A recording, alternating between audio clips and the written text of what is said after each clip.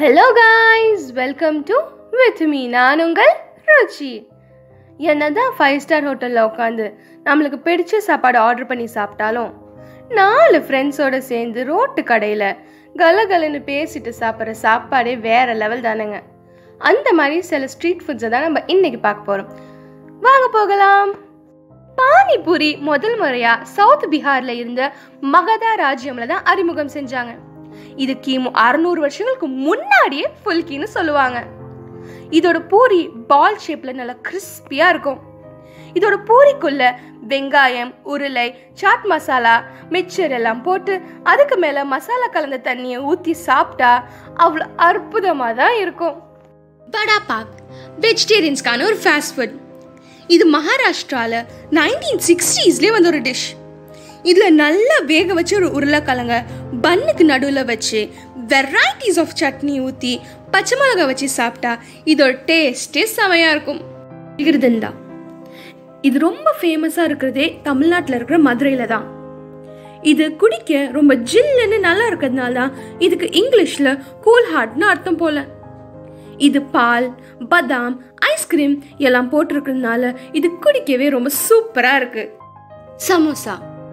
எல்லாருக்குமே ரொம்ப பிடிச்சமானது. ஆனா இதை பத்தி கவிதை இருக்குன்னு சொன்னா நீங்க நம்புவீங்களா?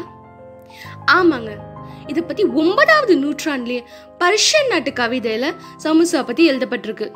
ஆனா சமோசா இந்தியாவுக்கு வந்தது என்னமோ பதிமூணு மற்றும் பதினாலாவது நூற்றாண்டுல தான். நிறைய வகையான சமோசாஸும் இருக்கு. உதாரணத்துக்கு onion samosa potato samosa cheese samosa meat samosa இடத்துக்கு ஏத்த மாதிரி சமோசாவோட வகைகளும் மாறிக்கிட்டு தான் இருக்கு. சமோசாக்கும் நிறைய வித்தியாசமான பெயர்கள் இருக்கு. உதாரணத்துக்கு சம்பூசா சம்பு ஷக் இந்த மாதிரி நிறைய வித்தியாசமான பெயர்கள்லாம் இருக்கு. மிடில் ஈஸ்ட் மற்றும் சென்ட்ரல் ஏஷிய நாடுகள் மாதிரி ஆரம்பிச்சு உலகம் ஃபுல்லாகவே சமோசா ஃபேமஸாக தான் இருக்கு. சமோசா கண்டிப்பாக நம்ம எல்லாரோட ஃபேவரட் தான். குல்ஃபி இந்தியாவோட பாரம்பரியமான ஐஸ்கிரீம் இதை சொல்லுவாங்க.